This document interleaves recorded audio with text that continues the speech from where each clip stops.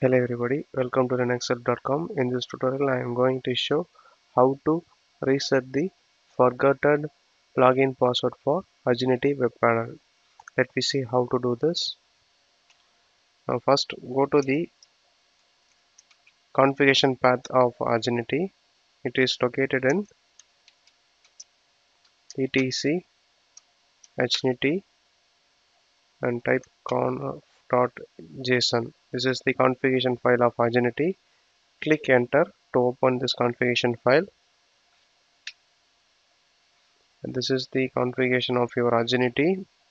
Here the user has shown uh, root. This is the user section. Now come to password section.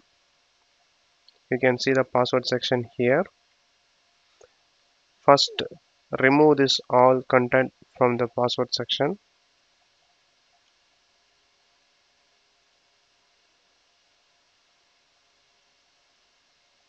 after removing this all now enter your new password. I'm going to enter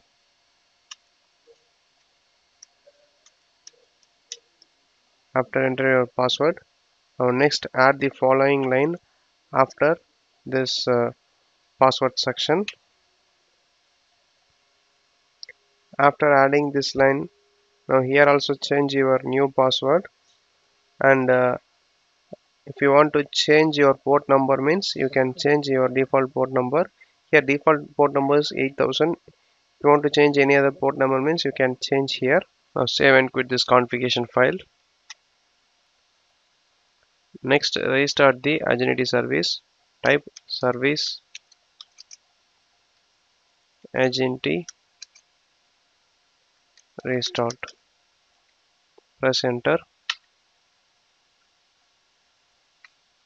now the service is restarted. Next open the Ajenti login terminal. Now enter the username root. Now enter your new password. Press enter. Now we successfully log in into Ajenti web panel. It is very easy to restart the forgotten login password. Thank you for watching